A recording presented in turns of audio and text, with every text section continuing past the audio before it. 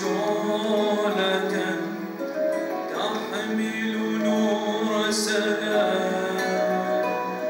أربع سنوات مضت على الهجرة القسرية التي تعرض لها الإخوة العراقيون في وطنهم ولجأوا فيها إلى الأردن. بعد هذه السنوات ارتأى شبابهم وشاباتهم إقامة هذا المهرجان الفني الذي يعبر عن همومهم وأحزانهم لهذا التهجير الذي تعرضوا له بسبب الإرهاب. اشتمل المهرجان الذي أقيم في كنيسة القديس جوارجيوس للروم الملكيين الكاثوليك ألفحيص ورعاه قدس الأرشمندريت بورس حداد بحضور النائب الدكتور فوزي الطعيمة والدكتورة باسمة السمعان مديرة مكتب نورسات الأردن وأعضاء السفارة العراقية ورئيس وأعضاء مجلس بلدية الفحيص وعدد من الآباء الكهنة والشخصيات الرسمية وجمع كبير من المهجرين والمدعوين. اشتمل على العديد من الفقرات المؤثرة التي تحكي معاناة الأشقاء وتعكس أمنياتهم بعودة السلام إلى العراق وبقية الأقطار التي تفتقد الأمن والسلام.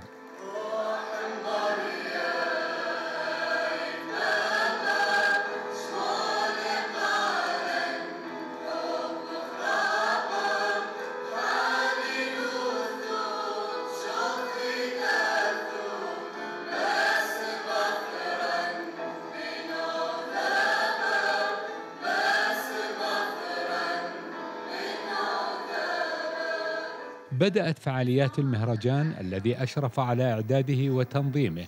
الفنان العراقي هدي الكوزا باستقبال شعلة السلام. تلاها تقديم أناشيد وطنية وتراتيل دينية وقصائد شعرية وفقرات غنائية ومسرحية متنوعة. نريد رغم الألم اللي نعيشه عندنا بصيص أمل. نريد نوصل للعالم نريد نعيش يعني نعيش بحب بسلام بإنسانية رغم كل الظروف يعني. والمواهب اللي عندنا يعني لازم نطلعها إن كان شعر إن كان غناء إن كان ترتيل إن كان مسرح أي شيء. الفن هو أجمل شيء بالحياة. وأكيد هاي الفكرة خليتها اني بالي من سنة تقريبا نشتغل بهذا الموضوع. وإحنا نشكر نورسات اللي هي دائما تغطي كل مشاريعنا وكل أعمالنا.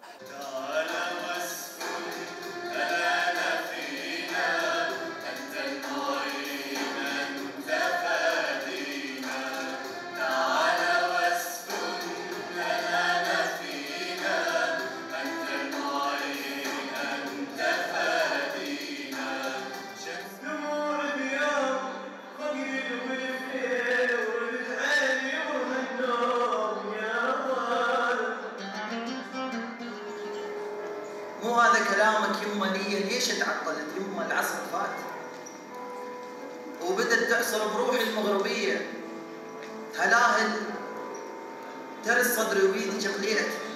وهذا دعمكم وحبكم لنا خلانا أن نقدم هذا الشيء.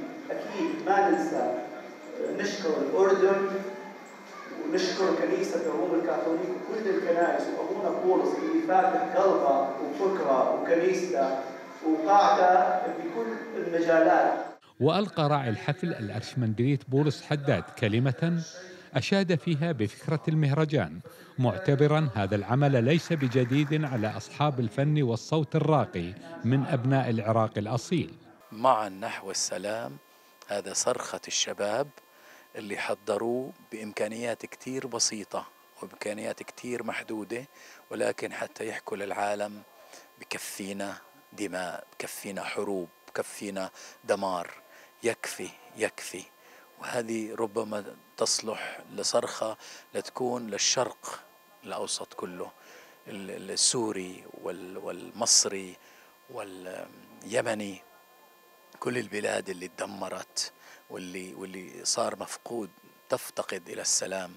صرخة أكيد من من من قلب جريح ومن قلب متألم وما زالوا مهجرين.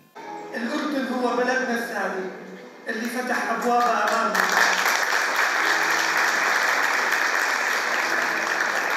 كنيسة الأردن أيضا هي كنيستنا الثانية، إحنا ما عندنا كنائس بالأردن، فكل الكنائس الأردن هي كنائسنا. ال- الإخوة والأخوات العراقيين في الفحيص وفي الأردن هم آه، أصحاب البيت وإحنا الضيوف لا ننسى تاريخ العراق قديمه وحديثه. ولا ننسى مواقف العراق العظيمة مع الأردن في في أيام كانت صعبة. فهذا جزء قليل قليل وقليل جدا من رد الجميل لهذا الشعب العراقي العظيم. آه، هم إخوة لنا وأخوات ونحن سعيدين جدا بأن آه، نشعرهم ولو بصورة قريبة من واقعهم. نشعرهم بأنهم في بلدهم ومع آه، آه، شعب شقيق لهم ونشعرهم بأن ما يصيبهم يصيبنا وما يصيبنا يصيبهم. نحن شعب عربي واحد.